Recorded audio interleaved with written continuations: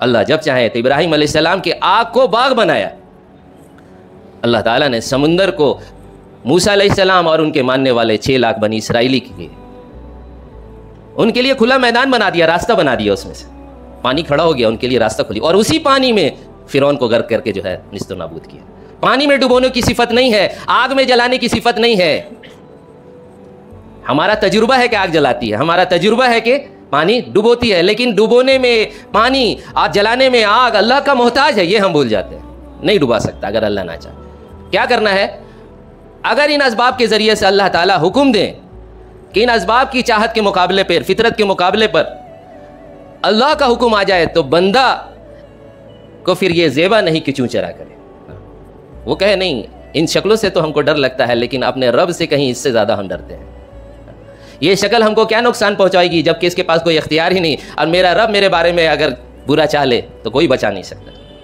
और अगर हम हुक्म पूरा कर दें, और दुनिया में नुकसान अल्लाह के हुक्म से आ भी गया तो हम तो अपना जो है कामयाबी का सामान तैयार कर लिए। अगर अल्लाह चाहते हैं, जल जाओ तो जल जाएँगे। इब्राहिम सलाम को भी पता नहीं था आगे क्या होने वाला है। क्या बाग बनने वाला है, ये आग नहीं पता था। डाले जा रहे थे आग में। लेकिन तैयार थे, जो होगा तो होगा।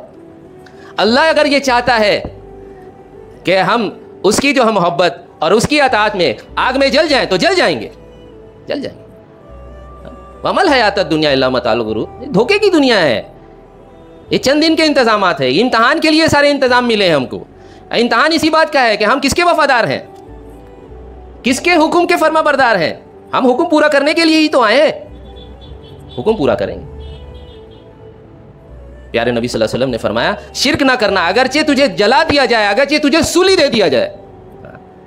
ये सिर्फ़ पिछले अम्बिया सलाम के लिए नहीं है, मेरे प्यारों। हम सबको भी इसका पाबंद बनाया गया है कि अगर इस लेवल का भी इम्तहान आ जाए, शक्लें इस लेवल तक तुम्हारे मुकाबले पे आ जाए कि तुमको जला दिया जाए सूली दे दिया जाए, तब भी शिरक नहीं करना।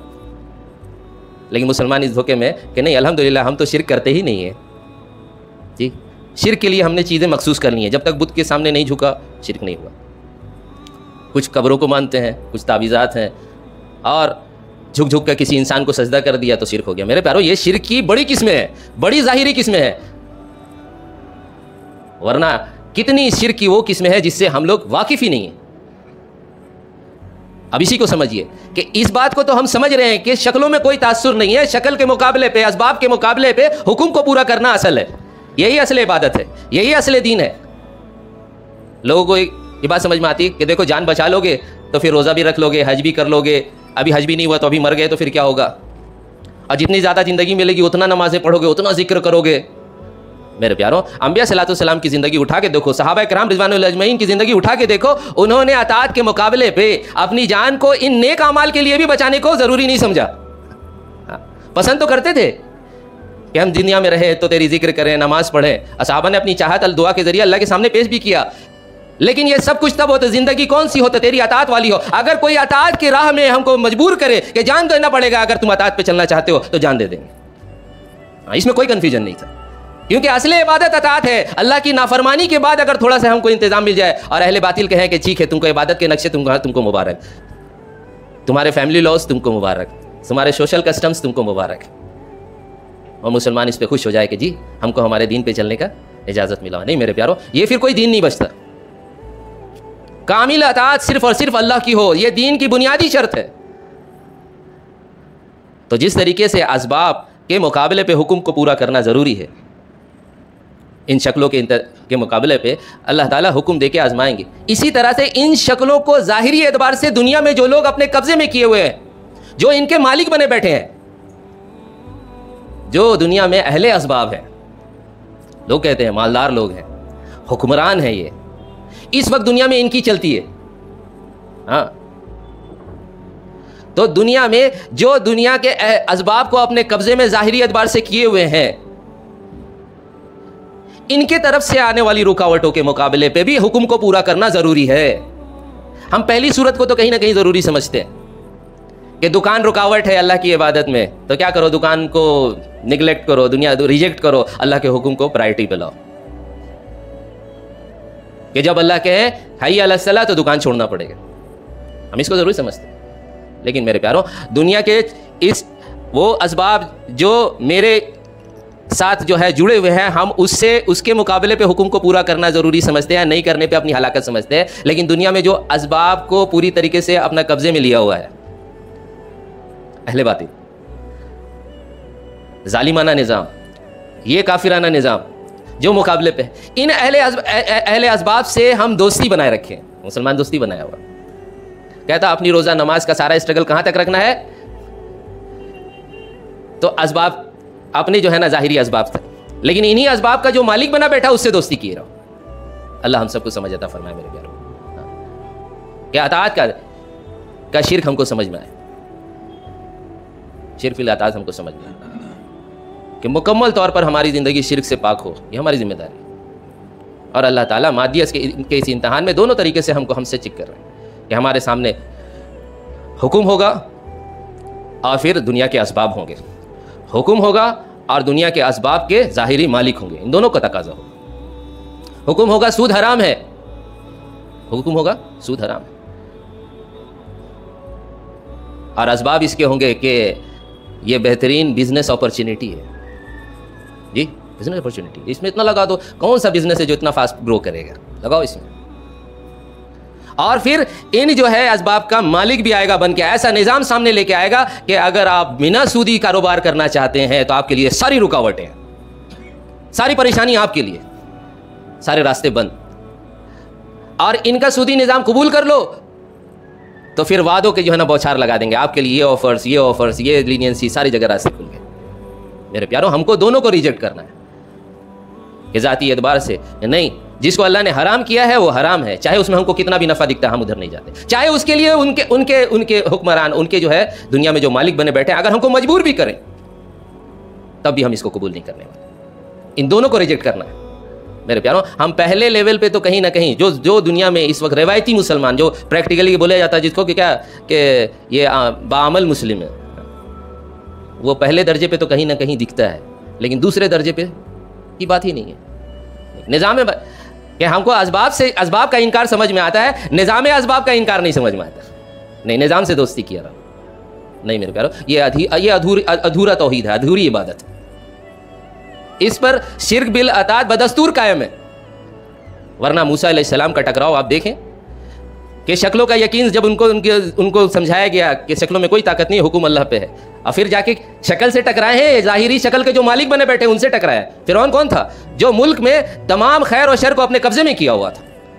मानने वाले को सब मिलेगा, नहीं मानने वाले को जीने का इख्तियार भी नहीं। बच्चे जबा किए जाएँगे और बच्चियों को गुलाम और बांदी बनाएगा और कोई उफ नहीं कह सकेगा। इतना कंट्रोल लेकिन मूसा सलाम डायरेक्ट जाके उसको दावत दी इब्राहिम सलाम की दावत किसके खिलाफ है? वही नमरूद। वो भी जालिम बादशाह है, वही जालिमाना निज़ाम, जो कहता है, अना रबुकुम आला फिर के जैसा उसका भी कॉल था। मैं सबसे बड़ा रब हूँ, मेरी बात चलेगी, मेरा कानून चलेगा, मेरा हुक्म चलेगा। नहीं इन हुक्म इसके मुकाबले पे अम्बिया सलाम का स्टैंड ये है। नहीं, हाकिम कानून साजी का इख्तियार सिर्फ़ अल्लाह को है। अल्लाह ने जिसे सही कहा वो सही है, जो गलत है, वो गलत है। जिसे हराम कहा, हराम है, जिसे हलाल कहा, वो हलाल है। तुम्हारे सही कहने से नहीं होगा, तुम्हारे गलत कहने से नहीं होगा। मेरे प्यारों, कुरान की सलाह में आप तलाश तो करें। कि कुरान किसे काफिर कहता है?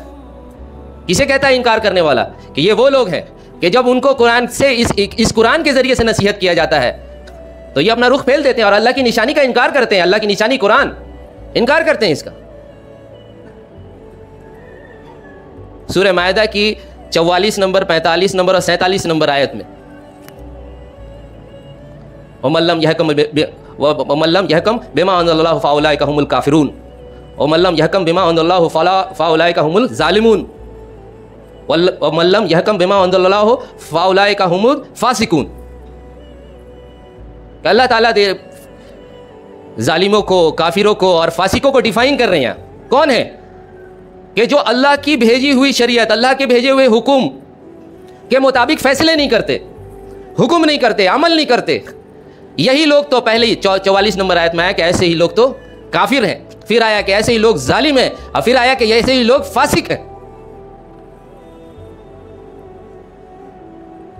तो अल्लाह के हुक्म के मुताबिक फैसले नहीं करते। मेरे प्यारों, इन अल्लाह के हुक्मों के मुकाबले पे ज़माना आएगा, रिवाज आएगा, तजुर्बात आएँगी, अपनी ज़ाती अगराज आएँगी, दुनिया के नफ़ा और नुकसान के नक्शे शक्ल के एतबार से भी आएँगे, निज़ाम के एतबार से भी आएँगे। हर ईमान वाले की ज़िम्मेदारी है कि इन सब के मुकाबले पे हर हाल में सौ फ़ीसद अल्लाह की अतात की अफरमा बरदारी को साबित करें। यह हकीकी कामयाबी। यह है हकीकी तोहहीद यह है कामिल दीन। अब ये दो एतबार से, एक अमल के एतबार से, एक नीयत के एतबार से। नीयत के एतबार से सौ फ़ीसद अल्लाह को चाहिए। इसमें कोई खोट नहीं चाहिए। अमल के एतबार से कोई कमी रह गई, लेकिन नीयत उसकी दुरुस्त थी कामिल अतात की नीयत थी। लेकिन कभी बह गया, कभी भूल गया, कभी उससे गलती हो गई, समझने का फिर हो गया, कभी डर भी गया। मेरे प्यारो तो इसकी कहीं ना कहीं गुंजाइश दिन में है। लेकिन जब अकीदा ही यह है कि ना, कि अल्लाह की अतात ना कल किया था, आज भी नहीं करेंगे। और ना करना है।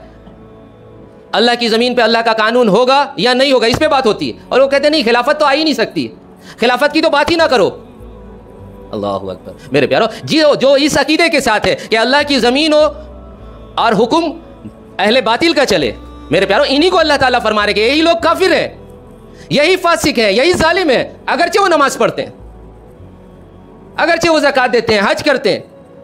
दीनदार भी समझे जाते हैं और कुरान भी पढ़ते हैं। आप उठा के देखो ना कुरान में कि इन आयात से पहले किन की बातें चल रही है? तो यहूद की बात चल रही है। बात चल रही है अल्लाह के अहकाम के आँख के बदले आँख, कान के बदले कान, नाक के बदले नाक और दांत के बदले दांत, ये हुक्म था। और तुम क्या कर रहे हो? इसको नाफिज नहीं करते हो? इंजील दिया था इसलिए, पढ़ने पढ़ाने के लिए नहीं, इसमें तो अहकाम है, कानून दिया था। इसको अपने ऊपर इंप्लीमेंट करो, समाज में इंप्लीमेंट करो। ये नहीं करते तुम। तुम्हारे ये पढ़ना, इस किताब को मानने का दावा करना तुमको नहीं बचाएगा। मेरे प्यारो, देखे तो सही हम कि कुरान किसको काफिर कह रहा है? किसको कह रहा है नाकाम है? कौन है जो इस इम्तहान में फेल हुआ है? तो शक्ल, इंतज़ाम इसबाब निज़ाम, ये सब कुछ आएँगे इनके मुकाबले पे हुक्म को पूरा करना। और हुक्म सिर्फ़ इतना नहीं है जिसको हम लोग समझ के बैठे हैं कि रोज़ा, नमाज़, हज जगह सच्चाई मनादारी खुशकल की और हलाल कमा लेना बस हो गया। ये ज़रूर दीन है। लेकिन अल्लाह ताला का पूरा कानून ज़मीन पे आए, अपनी ज़िंदगी से लेकर पूरी इंसानियत पे, ये हर एक ईमान वाले की ज़िम्मेदारी है कि इसके लिए फ़िक्र कोशिश मेहनत और जदोजहद करें। कि अल्लाह का दीन कामिल तरीके पे, अल्लाह की बादशाहियत का इजहार ज़मीन पे हो, अल्लाह हाकिम है, इसका इजहार हो, और ये होके रहेगा, याद रखना। हाँ ये होके रहेगा। ये होना है। हालात और दुनिया में इस वक्त होने वाली जितनी उथल पुथल और जितनी तब्दीलियाँ हैं, ये तब्दीलियाँ सब एक ही डायरेक्शन में जा रही हैं, याद रखना। कि दुनिया में वो दिन आने वाला है कि इस्लाम ही इस्लाम होगा, कुफ्र का नामो निशान नहीं होगा। ईमान ही ईमान होगा, कुफ्र नहीं होगा। कुफ्र लौटेगा अपने ठिकानों की तरफ़ और इस्लाम पहुंचेगा जो है ना वहाँ तक जहाँ तक रात पहुँचती है। हर कच्चे पक्के घर में दीन दाखिल होकर रहेगा, मानने वाले को अल्लाह इज़्ज़त देंगे, नहीं मानने वाले को अल्लाह जलील करके रहेंगे। अल्लाह ताला हम सबको इसकी तोफीक दे कि कामिल मुकम्मल इस्लाम पे हम ईमान लाए।